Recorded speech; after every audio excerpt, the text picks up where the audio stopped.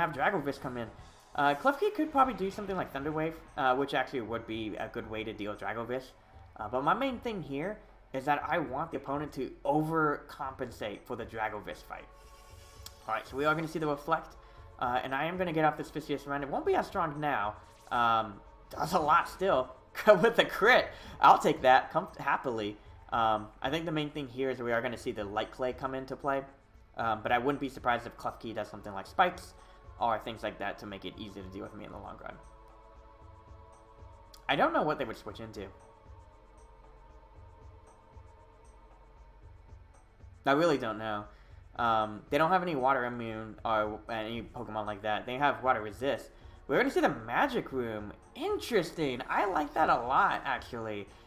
Alright, so our health items are actually not going to work anymore. Um, and that's enough to uh, put Klefki at a um, close to knockout range. We're going to go ahead and use Psychic Fangs here. I should outspeed Klefki. Okay, so we are going to get the light screen. But the Psychic Fang, ooh, that was smart play. Uh, because now I should be able to knock out. Uh, and the Psychic Fangs uh, will make sure the Reflect is no longer a play here. So while Magic Room is up, we got rid of the light screen and Reflect. So using the opponent's tech against them. That was kind of cool. I like that a lot. The Rapid Flow. Wait, does Rapid Flow go through the... Nope. I get my ability still. Totally fine here. Eiscue gets the Ice Face. Whoop! Uh-oh. I reveal myself, and I get to set up this belly drum here.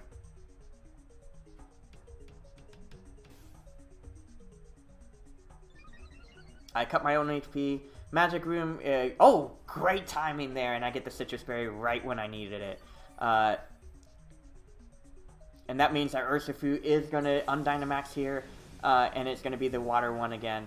Um, but this is great. Now I can just go ahead and max strike here with the Facade. Uh, 120 is really strong. I think, yeah, 120 should be enough to knock this thing now.